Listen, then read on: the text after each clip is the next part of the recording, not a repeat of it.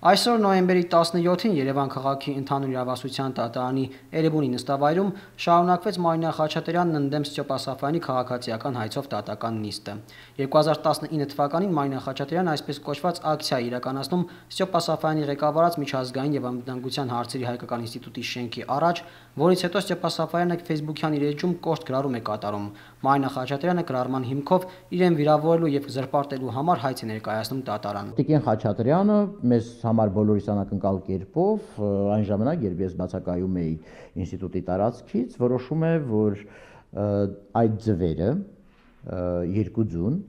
երկնագույն ժապավեններով կապ, կա, կապված, կարծում եմ մեր ընկերները շատ լավ հասկանում են թե ինչ թե ինչ ասոցիացիաներ է փորձել առաջացնել Տիկինը, բերում է մեր, մեր, մեր մոտ այդ պլակատով, որի հետ միասին լինում են եւս երկու պլակատներ։ Մյուսում լինում է ուրեմն ես եւ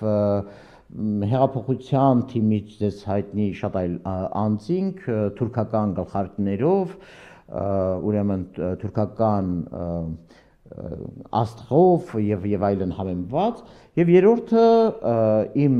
լուսանկարն էր ձեռք բերված համացանցային այն լուսանկարներից, որը լրատվամիջոցները օգտագործում են, որի վրա եղել են պատկերված սեռական օրգաններ։ Գրառումներ եմ կատարում, կոշտ գրառումներ, չեմ չեմ ուզում հերքել ամենևին, Դատական նիստը անցկացվում էր տրմբած, սակայն դատարանը հայցվորի պահանջով արգելել էր նիստը տեսազայնագրել։ Այս որոշումը Ստեփասավյանը ոչ օրինական է համարում։ Հայցվոր կողմը ուզում է որ փակը լինի, բա ուզում է որ փակը լինի, բա հայտարարումի առաջին նախադասություն վերաբերում է ես Մայնա Խաչատրյանս հանրային գործիչ եմ։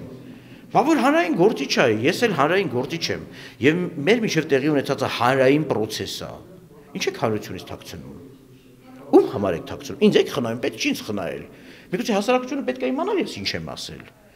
Եվ հասարակությունն էլ ինքն էլ դատավոր է, ով ասել որ միայն դուք եք այդ ծև համազգեստը ձեր վրա գցում եւ դուք եք դատավորը։ Սաֆյանը եւ իր պաշտպանը սրա հիմքով մեկ անգամ արդեն բացառք էին ներկայացել դատավոր Արտուր Գաբրիելյանի նկատմամբ, որը մերժվել էր։ Այսօր արդեն Սաֆյանը եւ իր պաշտպանը նոր բացառք հայտնեցին դատավորի նկատմամբ, պատճառաբանելով, որ դատարանը անկախ եւ անաչառ չէր կայացրած որոշումներում։ Դատարանը բացարձակապես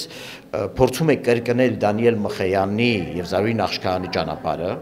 հայցվորի պաշտպանությունը ստանձնել, նրա փոխարեն որոշել հայցի հիմքը եւ առարկան, տեսակ իմ փաստաբանը ուրեմն տասնյակ ապացույցներ բերեց թե ինչպես է դատավորը ինքն ագլող որոշել թե ինչից պիտի վիրավորվեր Մայնա Խաչատրյանը, ինչից չպիտի վիրավորվեր։ Մայնա Խաչատրյանը ասել է ես 7 բանից եմ 6 բանից եմ վիրավորվել եւ 1 բանից զրպարտվել, դատավորն ասել է չէ, աղջիկ ջան, դու չգիտես, դու 25-ից ես վիրավորվել, դու 25-ից վիրավորված լինեիր։ Մայնա Խաչատրյանի փաստաբանը ասում էր 40-ից է վիրավորվել։ Մենք էլ ասում ենք, որ 40-ից վիրավորվել է, 40-ի համար պետք տուրք վճարել է, դա այդպես է օրենքի պահանջը։ Հիմա դուք գիտեք, որ 25-ի մասին է խոսքը մենք դա իմացանք անցածնից շատ անակնկալ կերպով, որովհետև ես ինչպես նշեցի իմ վերջին խոսքում, հա ինքը վերցրել է դուք պատկացեք ասենք գրառման մեջ ընդհանուր ինչ որ միտք ձևակերպեք որը ամենևին չլինի Մարինա Խաչատրյանի մասին ხო գրառումը ծայրի ծայր մարդը գրելուց ինչ որ բանի մասին չի գրում, ինչ որ պատմություն ես պատմում, ինչ որ բան ես հիշատակում կամ ինչ որ կոնտեքստ ես ստեղծում գրառման մեջ։ Ինքը բռնել ասում է բոլոր բառերը վերաբերում են Մայնա Խաչատրյանին, Ստեփան Սաֆանը Մայնա Խաչատրյանին ասում է սա ասում ենք ցույց տվեք, ցույց տվեք, որ այդտեղ կա այդ հասարակություն, բայց ինքը գիտի ինչ անում։ Իրենք գիտեն, որ վիրավորանքը եւ զրպարտությունը երեք գործոնների միաժամանակյա պարտադիրություն են ներկայացնում, այսինքն այն պետք է լինի ուղիղ ձեզ ուղղված, այսինքն ես պիտի ասեմ ովա դուք եւ այլն, դա լինի ասվածը վիրավորանք եւ դա լինի հրաապարակայնորեն ասված։